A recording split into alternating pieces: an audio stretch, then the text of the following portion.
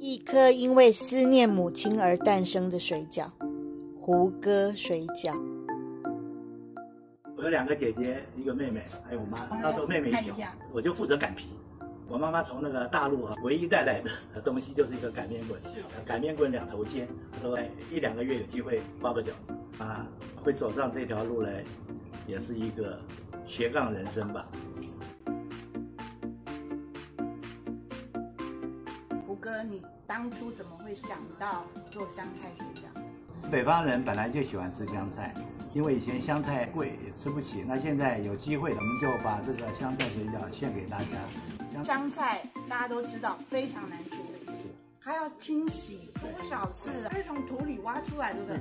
这要多费工。一一包水饺里面，你咬到半颗沙子，感觉就就毁了。对，所以这个工很很很细。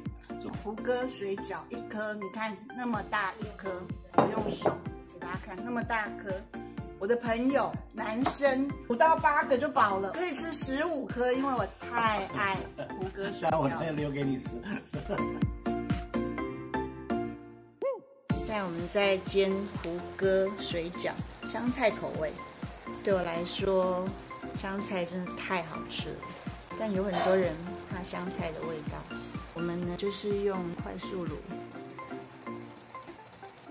像这个为什么要把盖子打开？因为里面的馅大概已经煮熟了，对，加速它的一个收干。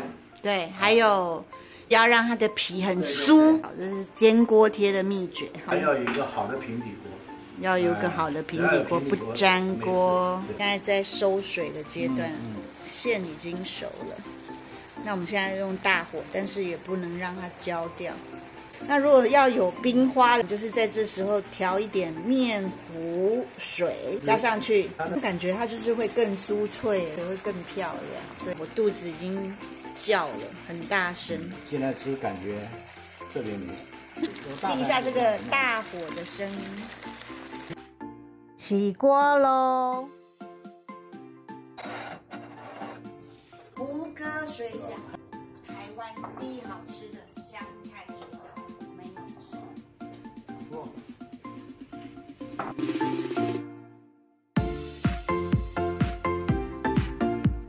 有有一句话叫做“舒服不如躺着，好吃不过饺子”。希望我们的饺子呢，能够让大家常常能吃到。